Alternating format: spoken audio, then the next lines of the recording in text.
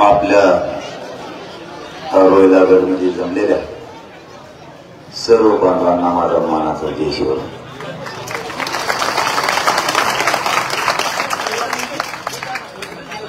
आपल्या मराठा आरक्षणाची लढाई आता अंतिम टप्प्यात आहे. या आचारसंहितेमुळं आपल्या सगळ्या स्वराच्या अंमलबजावण्याची प्रक्रिया थांबली होती. आचारसंहिता संपली मराठा समाजाला घराघरातल्या मराठ्यांना महाराष्ट्रातल्या आरक्षण मिळावं म्हणून आचारसंहिता संपल्याच्या नंतर सगळे सोयऱ्यांची अंमलबजावणी नक्की होईल. नसता पुन्हा मी आंदोलन चार उभा करणार. माझा आणि माझ्या समाजाचा हे संघर्ष. हा मराठा समाजाला गोरगरीब करोडो लोकांना न्याय मिळावा म्हणून सुरू. आणि तो न्याय मिळवून देण्यासाठी आपला आठ नऊ महिन्यापासून संघर्ष सुरू. माझी सगळ्या मराठा बांधवांना विनंती. माझा उपयोग हे राजकारणासाठी होऊ नये. माझ्या गोरगरीब समाजासाठी व्हावा माझा समाज अनेक वर्षापासून माग पडला. आता कुठला माझा समाज योग्य यायला लागला मराठ्यांनाही विनंती. का राजकारणी लोकांसाठी आपल्या खूप जोड देऊ नका हे येत राहील जात राहील या निवडणुका येतील जातील. मोठे होणारे होतील. पुन्हा तेच आपल्याला ताब्यात करायला तयार होतील. तर माझ्या गोरगरिबांचे करोडो मराठीचे पोर मोठे नाही होणार सगळ्यांनी जरा सावध राहिलं आणि लेकराच्या बाजूला जर उभा राहिला तर तुमच्या लेकराचं कल्याण होईल. तुमच्या मताच्या जोरावरती हे मोठे झाले आणि आज आपल्यावरतीच उघडले ज्यांना आपण मोठं केलं त्यांनी खरं आज आपल्या बाजूने उभं राहायला पाहिजे हो कारण आरक्षणाचा लढा हा शेवटच्या टप्प्यात आला. सत्तर वर्ष आपल्या लेकरांना या आरक्षणाची वाट बघितली. आता कुठे आरक्षण मिळणार आहे? सत्तर वर्षात ज्या पक्षातल्या नेत्यांना आपण मोठं केलं त्यांनी आपल्या लेकराच्या बाजूला उभा राहायला हवं होतं. ते आपल्या बाजूनं नाही उभा आहे. शेवटी आपल्यालाच गोरगरिबांना ही लढाई लढावी लागली. आरक्षण हा साधा सुद्धा विषय नाही आरक्षण जर साधा विषय असता तर याला सत्तर वर्ष लागले नसते. जरा सगळ्यांनी स्वतःच्या मनात जर परिवर्तन केलं विचार करून जर बघितलं तर खरं आरक्षण देण्याची जबाबदारी आमदार खासदार आणि मंत्र्यांची होती. ज्यांना आपण मोठं केलं त्यांची. कारण विधानसभेच्या पटलावरती ते काम करतायत. मग मराठ्यांच्या आरक्षणाचा व्यवहार कुठे? हे शोधण्याचा अधिकार त्यांना होता. ज्यांना आपण मोठं केलं त्यांनीच आपल्याला सांगितलं. तुम्हाला आरक्षण देता येणार नाही. आपणही डोळे झाकून त्यांचा विश्वास ठेवला. आपला नेता आपल्याला म्हणतोय आरक्षण देता येणार नाही याचा अर्थ नसणारच. पण तो नेता तुमचा नव्हताच. सत्तर पंच्याहत्तर वर्षात जे पक्ष झाले ते त्याचे जे नेते तुम्ही मोठे केले ते सगळे. आज तरी डोळ्या उघडा. की हे नेते तुमचे नव्हतेच मग ती महायुती असो नाही तर ती महाविकास आघाडी असो. सगळ्यांनीच उभं वाटोळ आपलं केलं. मराठा म्हणून जर विचार करायचा ठरला तर ज्यांनी आपल्याला खरं आरक्षण द्यायला पाहिजे तर त्यांनी जाणून बुजून असून मिळवून दिलं. नेता म्हणलाय मराठ्याचं आरक्षण ओबीसीत नाहीये. आपण त्यांचा विश्वास ठेवला. मग तेच आरक्षण आता निघायला कसं लागलं? तुम्ही जर वर्षानुवर्ष म्हणलात की मराठ्यांचं आरक्षण भविष्यात नाहीये. मग ते आरक्षण आता निघायला कसं लागलं? जर नव्हतं तर दोनशे वर्षापूर्वीच्या नोंदी मराठ्यांच्या सापडायला लागल्या असतात याचा अर्थ यांनी सगळ्यांनी आपल्या लेकराशी गद्दारी केली. यांचे लेकर मोठ्या करण्यासाठी आपल्या बापदाद्यांनी आयुष्यभर यांचे व्यवस्थित केले.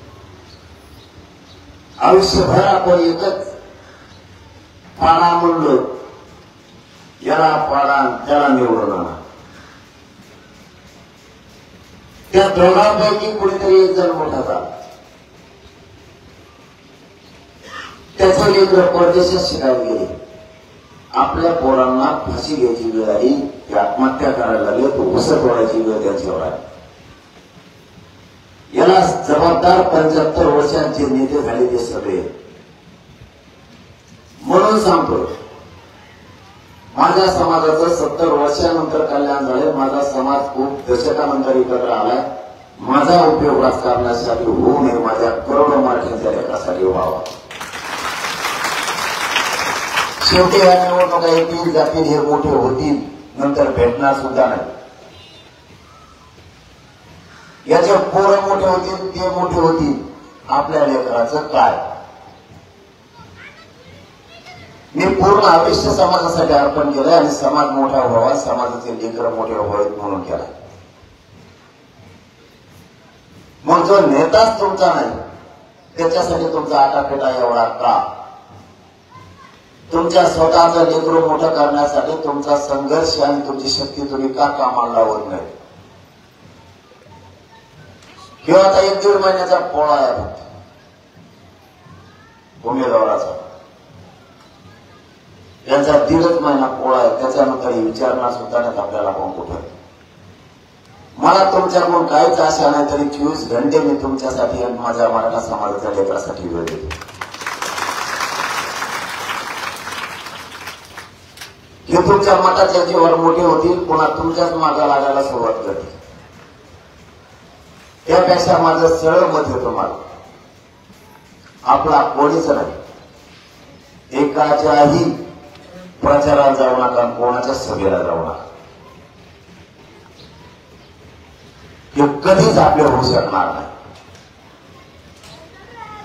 या राज्यात आपण कोणत्या पक्षाला पाठिंबा दिला नाही कोणत्या पक्षालाही दिला नाही. कारण हे स्वार्थ त्यांचा आपला नाही. तुम्हाला प्रामाणिक मताला सांगतो आपण उमेदवार उभा केले असते आपल्याला वेळ कमी होता राजकारण आपला मार्ग पण नव्हता. आणि महत्वाचं सांगतो आपला लोकसभेत विशेष नाही. मराठा आरक्षण हा विषय लोकसभेतला नाहीच. जर तुम्हाला दहा टक्के आरक्षण पाहिजे असलं तर आपला लोकसभेतला विषय. आपण दहा टक्के आरक्षण घेतच नाही कारण ते टिकणारच नाही. मग तिथं खासदार पाठवून काय त्याला हजेमध्ये करायला पाठायचं का? तिथं आपल्याला गरजच नाही. तिथं आपला प्रश्नच मांडला जाणार नाही.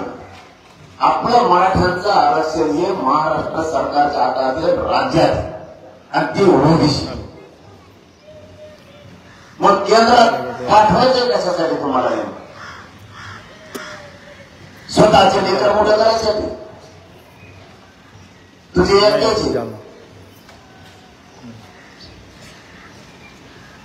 याने काय होतं? आपल्याला राजकारणाची लय आवड. रानात बसला तरी राजकारणावर बोलत बांधावर बसला तरी तेच. लग्नाला गेला तरी आरशाचा टाकायचा सोडून तुम तिकडे काय चाललं तिथे? काही घेणं ते नाही तुला? तो मोठा होईल तो जाईल ते त्याच्या पोरं मोठं करते. तुझ्या आरक्षणाबद्दल तू बोलत होती. हा विषय आपल्यासाठी महत्त्वाचा. लोकसभेत आपला विषयच नाही. आणि ते आरक्षण नको पण आहे आपल्याला. आपलं आरक्षण ओबीसी ते आपण मिळवत आणलं. आतापर्यंत सव्वा करोड मराठ्यांनी आरक्षण घेतलं. जे कधीच मिळणार नव्हतं ते आरक्षण. आणि ही टोळी आपल्याला मिळू देणार नव्हतं. ओबीसीतून मराठ्यांना हे आरक्षण मिळू देणार नव्हतं. कारण यांना माहीत होत. मराठ्यांना जर ओबीसीत आरक्षण मिळालं तर आपला कार्यक्रम झाला म्हणून सांगायचं. कारण मराठ्यांच्या पोरं हुशार या राज्यापासून केंद्रापर्यंत नोकऱ्याला लागतील उच्च शिक्षण हेच बोर्ड घेतील म्हणून त्यांना मराठ्यांना ओबीसीतून आरक्षण मिळवून द्यायचं नव्हतं आणि मी मात्र ओबीसीतूनच घेणार होतो इथून पुढे ओबीसीतूनच घेणार एकही मराठ्याचं पोरग किंवा एकही मराठ्याचं घर आरक्षणापासून वंचित राहणार नाही तोपर्यंत मी आंदोलन बंदच करणार नाही. मग हे आरक्षण भाजपचा मराठा असू द्या किंवा राष्ट्रवादीचा असू द्या नाही तर काँग्रेसचा असू द्या नाही तर शिवसेनेचा असू द्या. सगळेच मराठी आरक्षण घेणार मग राजकारण याच्यात करता कशा? हे आरक्षण सगळे घेणार तुम्ही भाजपचे किंवा काँग्रेसचे मराठी नाहीये. तुम्ही मराठ्यांचे मराठी. पक्षाला बाप मानण्यापेक्षा जातीला बाप माना पक्षाच्या नेत्याला बाप मानू नका जर तुम्ही त्यांना बाप मानायला लागले तर तुमच्या लेकराचा उभं वाटलं होणार मी रातपाट एक करून तुम्हाला तळमळीने हे सांगतो की तोंडाला घासाला लेकरांच्या आरक्षणाचा किंवा वायाला जाऊ देऊ नका जर ही संधी गेली तुमचेच लेकर तुम्हालाच माफ करणार नाही तुमचेच लेकर तुम्हाला म्हणणार आहेत आरक्षण मागायच्या वेळेस तुम्ही प्रचार करत होता. दुसरा मोठा कसा होईल हे काम करत होता. आणि ज्या वेळेस आम्हाला आरक्षण मिळून आम्ही मोठे होणार होतो त्या दिवशी तुम्ही आरक्षणाच्या बाजूने उभारणार होता तुम्ही नेत्याच्या बाजूने उभा राहिला होता. आणि तुम्ही अशा नेत्याच्या बाजूने उभा राहिला की ज्या नेत्यानं मराठा आरक्षणाला विरोध केला अशा नेत्याच्या बाजूने तुम्ही उभा राहिला. तुमचंच चित्र तुम्हाला प्रश्न विचारणार आहे. मी काय तुम्हाला मतं मागायला नाही आले? आजची धावपळ फक्त मतं मागण्यासाठी. आणि माझा संघर्ष आणि माझी धावपळ फक्त माझ्या मराठ्यांचे लेकर मोठे व्हावे यासाठी. तुम्ही फरक करायचं शिका. जात कशी मोठी होईल आणि जात एक कशी राहील याच्यासाठी काम करा. आपली शक्ती आपल्या विरोधात नाही वापरायची. हे जर आरक्षणाला मिळालं. तुम्ही जशी जमीन तुमच्या लेकरासाठी आयुष्याची प्रॉपर्टी म्हणून आयुष्याची भाकर म्हणून ठेवली तसं आरक्षण सुद्धा चंद्रसूर्य असेपर्यंत तुमच्या लेकराचं कल्याण करणारे इतकं तुमच्यासाठी आरक्षण महत्वाचं आरक्षण हा साधा सोपा विषय नाही जो जर साधा असता तर याला सत्तर वर्ष लागले नसते. आणि हे विषय जर इतका सरळ सोपा असता तर ओबीसीचे सगळे नेते माझ्या विरोधात एकवटच नसतो. तिकडून टोळीचे टोळी उभा होती. व्यासपीठावर बसायला जागा नाही इतके नेते मराठा आरक्षणाच्या विरोधात एकत्र आले होते. नेते म्हणतोय गाव खेड्यातला ओबीसी वातावरणात गोरगरीब मराठ्यांना आरक्षण मिळालं पाहिजे. फक्त नेत्यांना वाटतं ते मिळू नये हे सगळी टोळी माझ्या विरोधात होती. मी एकटा आणि तुम्ही माझ्या बाजूने एवढेच होता. तरीही आपण त्यांना गुडघ्यावर टेकवलं. शेवटी त्यांची इच्छा होती मराठ्यांना आरक्षण मिळू द्यायचं नाही. शेवटी मराठी आपण ओडिशा आरक्षणात घातलेच. आज राज्यापासून केंद्रापर्यंत तुम्हाला आता त्यांच्या सुविधा देता येणार आहे तुमच्या लेकराला आरक्षण शिक्षणात नोकरीत कामाला येणार आहे असा या राज्यात एक मायबाप नाहीये की त्याला वाटत नाही की माझा लेकरू सुद्धा डॉक्टर झालं पाहिजे इंजिनियर झालं पाहिजे तहसीलदार कलेक्टर झाला पाहिजे असा एक बी मायबाप नाही की त्याला वाटत नाही. तुमचे लेकर अधिकारी बनणार आहे आणि माझा आटापेटा एवढ्यासाठी की मराठ्या अगोदर मराठ्यांच्या लेकराला आरक्षण देऊन मराठ्यांच्या लेकराच्या अंगावर आरक्षण देऊन वरती बघायचे हे स्वप्न घेऊन रस्त्यावर गेले. तुम्ही राजकारणाचा येड थोडं नका तुम्ही काढा आणि समाज किती मोठा होईल. समाजाचे लेकर किती मोठे होतील याच्यासाठी काम करा. बाकीच्याने तेच आधी काम केलं. मग ते राजकारणात यशस्वी झाले. आधी जात आणि जातीचे लेकर मोठे केले. आणि मग समाजानं राजकारणात समाज मोठा केला. समाजाचे लोक मोठे केले. तुम्ही उलट करायला लागला. तुम्ही राजकारणात लोक मोठे करायला लागला तर लेकर उपाशी मारायला लागला. आधी जात मोठी करा मग जातीतून सत्ता काबीज करा. दोन्ही बाजूला तुमच्या लेकराचा फायदा होणार आहे. उलट शिरू नका. काही करून देणारा बनायचं मागणार नाही बनायचं. फक्त काम करताना मराठ्यांनी विचारपूर्वक करा. आपल्याला राजकारणाचा इतका बेकार ना दे भले पाच पन्नास जण उभा राहते. रामान कामाचं याला दहा मतदान पडत त्याला वीस पडत त्याला शंभर पडत त्याला एक हजार पडत. सगळ्याच आपल्या धुळ्यावर होत्या सगळे आपलेच पडत. आहेत आणि जेव खरा तुम्हाला पाडायचा आहे तेच नेमका पडत नाही. मी तुम्हाला हे सांगायला नाही आलो तुम्ही याला पाडा त्याला निवडून आला कारण मी राजकारणात नाही. आणि मी जे भाषणात बोलतो ते जीवन जगताना करतो.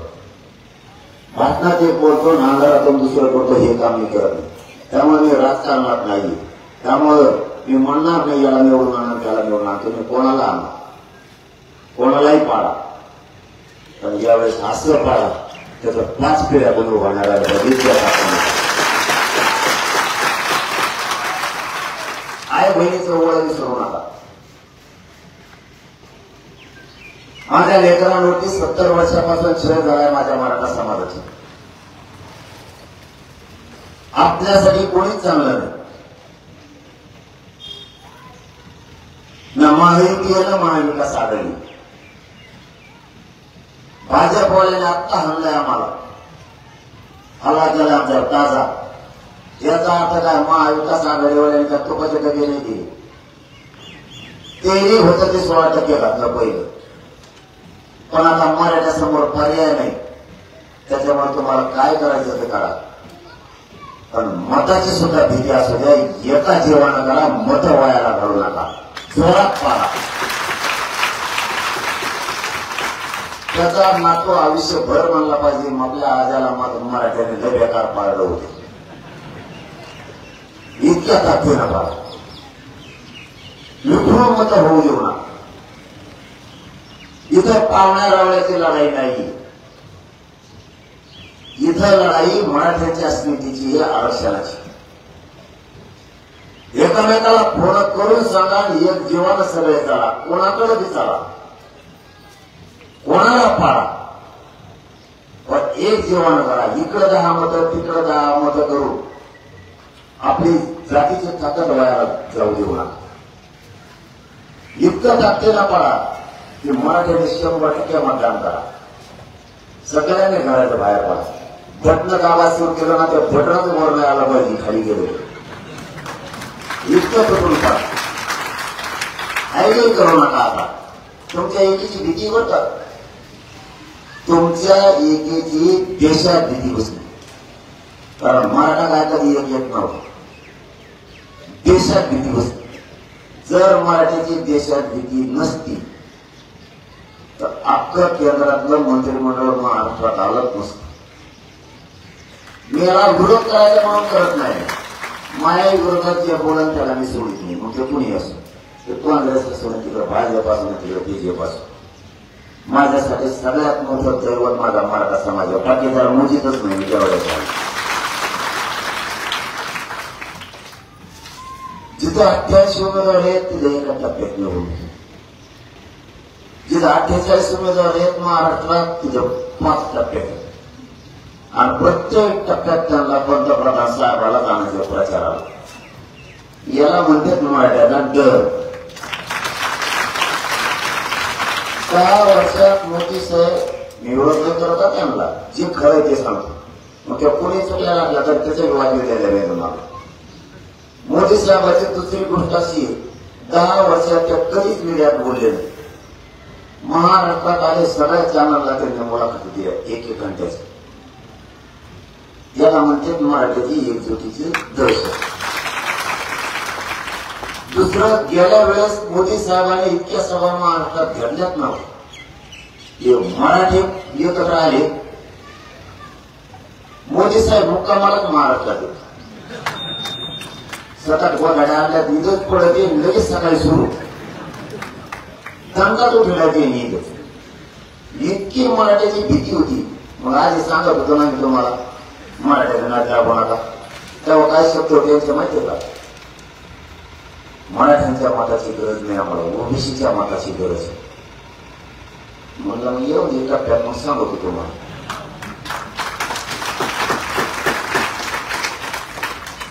आता म्हणते हे बेकार वया म्हणजे बेकार व्हाया. लई बेकार व्हाया म्हणजे मै धावपळच होईल म्हणजे सगळी मी पळतोय पाणी नाही मिळाला आता कशी फजिती केली माझी? आता एका दिवसात दोन सभा आहे एका दिवसात. ते बी फक्त मराठ्याची एकीमुळे आता म्हणते बोल. महाराष्ट्रात मराठ्याशिवाय पान सुद्धा होऊ शकत नाही. आता कसं प्रकार आले याला कारणीभूत होता तुम्ही स्वतः.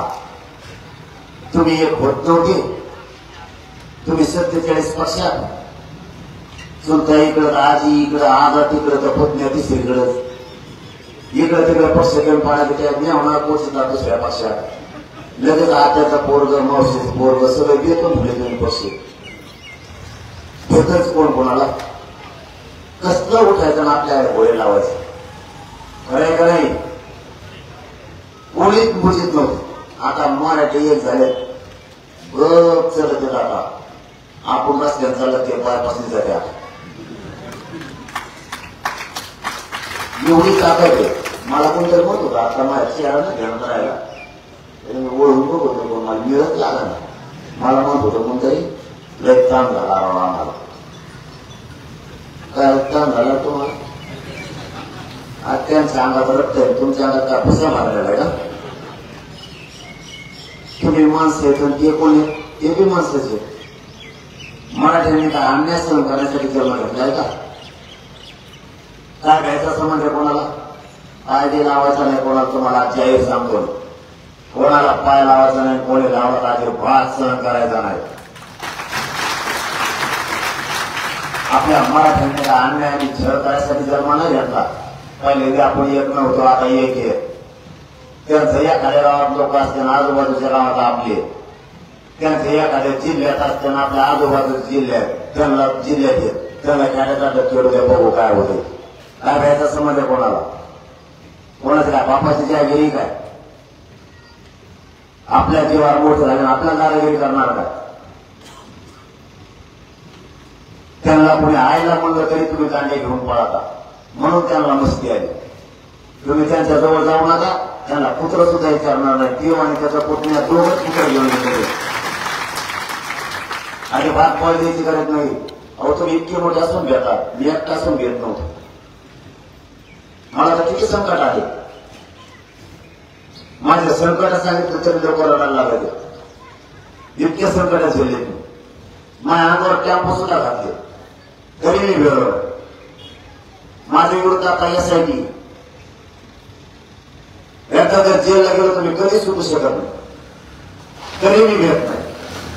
मला डॉक्टरने सांगितलं तू फिरू नको सहा महिने. तरी मी रात्र दिवस फिरतो तू भेटा कोणाला?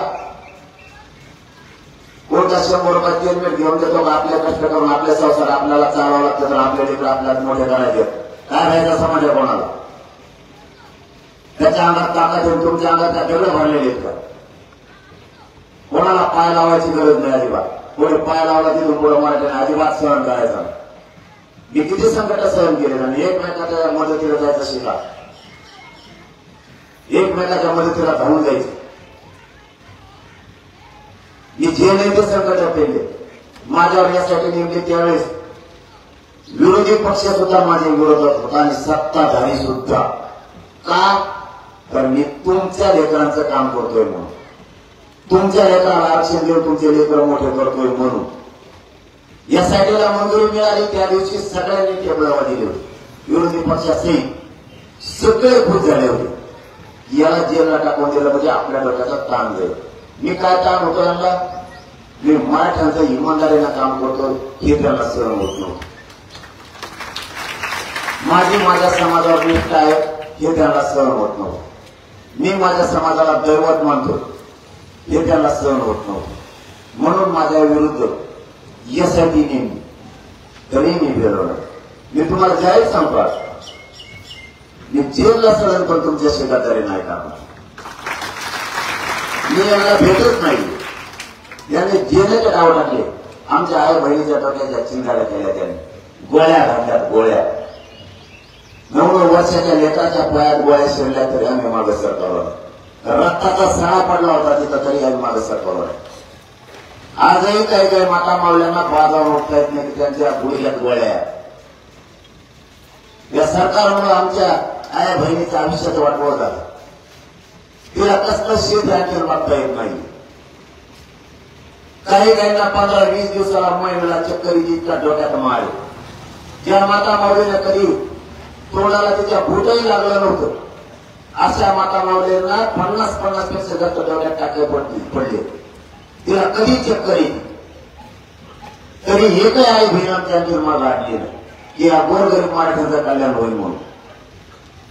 त्या रक्त सांगण्याची जाणीव मला आहे. म्हणून मी मागे सरकत नाही भेट सुद्धा नाही सरकणार मला त्या रक्ताचा बदलाच घ्यायचा आरक्षण देऊन मराठा आपली अस्मिता लागली असली पाहिजे. आपल्या जातीचा आपल्याला गर्व असला पाहिजे भूषण असलं पाहिजे. आपली जात संपायला कामा आपली जात संपली तर तुम्हालाही संपायला वेळ लागणार आपले लोक संपू देऊ नका. त्या राजकारणा पहिले राजकारणी लोकांसाठी आपले जात संपू देऊ नका जातीचे पोरं संपू देऊ नका. जात मोठी करा जातीचे पोरं मोठे करा. मी सगळे संकट झेले त्यांचे. माझ्या बदनाम्या सुद्धा केल्या त्यांनी. खोटे व्हिडिओ टाकले मी मराठा समाजापासून तुटावं म्हणून. एका आहे बहिणीचे माझ्या विरोधात राज्यात तक्रार नाही एका पण? मी वर नजरेला बघितलं म्हणून. तरी या हरामखोर सरकारने मला बदनाम करायचा प्रयत्न केला होता. मला आई बा- माझ्या आई बापापासून माझ्या समाजापासून मी तुटलो पाहिजे म्हणून. मी सगळे संकट झेलले. कोण कोण आमच्या अंगावरती काय काय घेऊन आले हे उद्या महाराष्ट्राला माहिती. हिंगोलीच्या सगळ्यात काय झालं? जळगावच्या सगळ्यात काय झालं हे सगळ्यांना माहिती. सगळे संकट यांचे झेलले यांनी किती वेळेस किती त्रास दिला तरी आम्ही आठवडे तुम्ही भेटाय कोणाला? आता त्यांनी माझ्या शेवटचा डाव टाकला. मला पक्के माहिती आणि मी माहिती असल्याशिवाय बोलत नाही.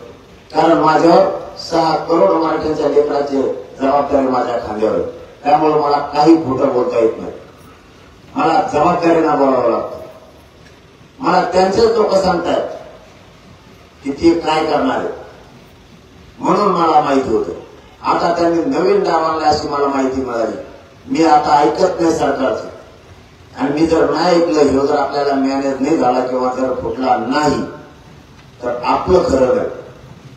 तुमच्या सत्ता आणण्यासाठी मग काय तुम्ही माझ्या समाजाचं वाटवं करणार का आता? म्हणून त्यांनी नवीन डाव आणला आता याला मागच सरकारचं जर असलं त्याच्या घरावर हल्ला करा. माझ्या. असा महाराष्ट्रात एकही माणूस नाही की त्याचा स्वतःच्या लेकरात जीव नाही एक सुद्धा नाही. लेकराला ज्यावेळेस व्यक्ती ज्यावेळेस कसलंही कुटुंब असलं कितीही पाषाण काळजाचा माणूस असला तरी मागे सरकतो त्यांनी आता ह्यो डाव टाकला त्याच्या घरावर हल्ला करा म्हणजे ह्यो मागे सरकत ह्यो बाकीच्या केसेसला एसआयटीला जेलला जायला भेट नाही.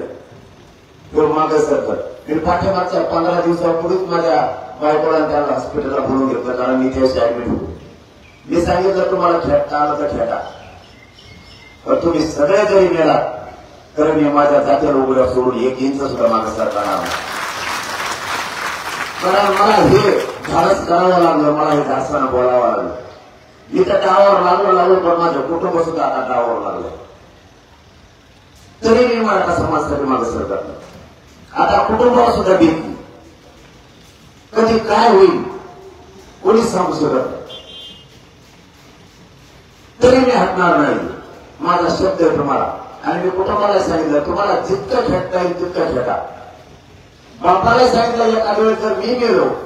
तुम्हाला चार मुलं आहेत. असं समजा की मला तीनच मुलं होते डोळ्याला पाणी सुद्धा आणू नका. कारण मला या मराठ्यासाठी लढावं लागणार माझे करोडो मराठ्याचे लेकर मोठे झाले पाहिजे मी खोटा करत नाही कधी. मी बेगडी नाही. या समाजाला सत्तर वर्षापासून आरक्षण मिळत नव्हतं ते मिळून दिलं. राहिलेले मराठ्यांना मिळून द्यायचं. त्यांनी किती डाव टाकू द्या. ते मोडण्याची ताकद माझी होती यांनी आता मला शेवटी भावनिक करायचं ठरवलं. कुटुंबाचा विषय पुढे करू. मला माग सारखायचं ठरवलंय. मी नाही सारखं आता जे होईल ते होईल. मी माझं आयुष्य पूर्ण अर्पण केलेलं आहे समाजाला. शेवटी आता कुटुंबही गावावर लागलंय. आणि मी खाऊ जगण्यासाठी नाही आलो. मला या समाजाला मोठं झालेला बघायचं. या समाजातील एक अधिकारी झालेले मला बघायचं. त्यामुळे एक मेला तरी चालते पण करोडो मराठीचे लेकर सुखी राहतील. हे सगळ्या पक्षातल्या मराठ्यांनी समजून घ्या. आपली जात मोठी होऊ द्या. आपल्या जातीचे लेकर मोठे होऊ द्या. तुम्हाला माझे हात जोडून विनंती. काही झालं तरी आपली एकजूट फुकू देऊ नका तुमच्या आजूबाजूला बघा आज कोण नाहीये. जो नाही त्याला घरी जाऊन पार पडून सांगा इथं जातीचा प्रश्न आहे. आपली जात मोठी करायची. आपल्या जातीचे लेकर मोठे करायचं राजकारण आणू नको. कारण ह्या बैठका मराठा आरक्षणासाठी आहे फूट पडून देऊ नको. बाकीचे समाज एकत्र आल्यामुळे त्यांच्या लेकराचं कल्याण झालं. आता आपल्या जातीच्या लेकराचं कल्याण व्हायला लागले. तोंडा नाल्याला भात जाऊ देऊ नकोस. त्याच्या पाय पडून सांगा. त्याने नाही ऐकलं तर मग नंतर बघू. कारण पुढे त्याला जिल्हा परिषद पंचायत समितीला आपल्या दारात यायचं जो आपल्या लेकराच्या बाजूने त्याला दारात दोघा नाही करायचं म्हणतो पंचायत पक्षाचा असू दे. आपले लेकर आपल्यासाठी मोठे. माझे तुम्हाला हात जोडून विनंती. आपल्या जातीत पण पुढे देणार कारण माझं शरीर मला साथ देत नाही मी इतके उपोषणा केले तर माझं शरीर मला कसला साथ देत नाही मला दोन फाऱ्या चढायला असला तरी त्रास होतो. डॉक्टरने सरळ सांगितलं आता तो सहा महिने आराम कर. आणि आम्हाला उपोषण उपयोग कधीच करू नको. तू जर आम्हाला उपोषण तोंडावर शब्द जरी आणला तर तू एका दिवसात आता मरू शकतो. तरीही मी म्हणायला भेट नाही. तरी मी चार जूनला या मराठा समाजाला न्याय मिळावा म्हणून आम्हाला लोकसभा पुकारलं माझे तुम्हाला विनंती तुमच्या पायाला हात लावून सांगतो. आठ महिने झालं मी कुटुंब बाजूला सारून समाजाला कुटुंब मानलं परिवार मानलं आणखी उंबऱ्यात सुद्धा सोडलो नाही. तुमच्या लेकराला आरक्षण दिल्याशिवाय हातात पण फक्त माझी तुम्हाला हात जोडून विनंती. माझं शरीर मला साथ देत नाही मी तुमचं आसन नसेल मला माहीत नाही. माझी जात फुटवून देऊ नका ही जात खूप हिला आता फुटून देऊ कारण ही तुमच्या खांद्यावर जबाबदारी जात एकत्र जातीचे प्रचंड व्हायला लागले. आपले लेकर मोठे व्हायला लागले. लेकर मोठे करा. या राजकारण्याच्या नादी लागून आपल्या लेकरांचं वाटोळ होऊ देऊ नका. कारण मी राजकारणासाठी तुमच्यापर्यंत आलेलो नाही मला त्याचं देणं घेणं नाही. पण तुमची एकीची भीती मात्र त्याच्यावर बसली ही काही मासेच राहू द्या. सगळ्यांना एक देवाला काम करा. कोणाचाही करा. मी म्हणणार नाही तुम्हाला याचं करा आणि त्याचं करा परंतु मराठ्यांची दहशत बसली पाहिजे. एखाद्याला इतकं ताकदीनं पाडा ना तर मराठ्याच्या नादी कधीच कोणी लागलं नाही पाहिजे फक्त या आरक्षणाची लढाई शेवटच्या टोकापर्यंत नेऊन आपल्याला लढायची. सगळ्यांना पुन्हा एकदा जागा करा. सगळ्यांना मराठा आरक्षणाच्या लढाईसाठी सावध करा. आपल्या जातीच्या लेकरावर अन्याय होऊ देऊ नका. कॉलेजला जाताना शाळेत जाताना आपल्या मुलांना खूप त्रास होतोय. नुसता आरक्षण प्रश्न आपल्या पुढे नाही आपल्या लेकरा पुढे आरक्षण मिळाल्याच्या नंतर आणखीन संकट आहे. ते आपल्याला संकटात तोडायचे त्यासाठी एकजूट पाहिजे. एका टक्क्या हुकले तर पोरं घरी रडत येतील. व्याजानं काढून पैसे आई बापानं पोरं शिकवले. प्रत्येक आई बापानं रात्रंदिवस कष्ट करून लेकरं शिकवले. प्रत्येक आई बापाचं स्वप्न आहे माझ्या वाट्याला जे कष्ट आलं ते माझ्या लेकराच्या वाट्याला नाही आलं पाहिजे. पण या आरक्षणामुळे आपले लेकर मोठे होत नाहीये. आरक्षण आता आपल्याला मिळाले जमाय. सगळ्या सोयऱ्यांच्या काम झाली की घराघरातल्या मराठ्यांचं कल्याण झालं म्हणून समजा. म्हणून आपल्याला ही लढाई जिंकायची ताकदीने एकजूट राहा. या राजकारणासाठी आपल्या फूट पडू देऊ नका. ही तुम्हाला माझी हात जोडून विनंती जाता जाता तुम्हाला शब्द देतो माझा जीव जरी गेला तरी तुमच्या लेकराच्या अंगावर आरक्षण देऊन गुलाल टाकल्याशिवाय इंचही मग गाठणार नाही. शब्द देतो आणि थांबतो. धन्यवाद. जय शिव यानंतर गावच्या वतीने दादांचा सत्कार या सर्व मुली करणार आहेत. एक मराठा. छत्रपती शिवाजी महाराज की जय भवानी जय भवानी कृपया कोणी स्टेजवर येऊ नका त्या छोट्या मुली. वर येऊ नका या छोट्या मुली. गावांचा सत्कार करत आहे आपल्या वैलागड व वैलागडच्या पंचक्रोशीतील सर्व समाजाच्या वतीने दादांचा या ठिकाणी शाल व हार घालून सत्कार होत आहे. स्टेजवर कृपया कोणी येऊ नका. सर्वांनी थोडं नियमाचं पालन करा.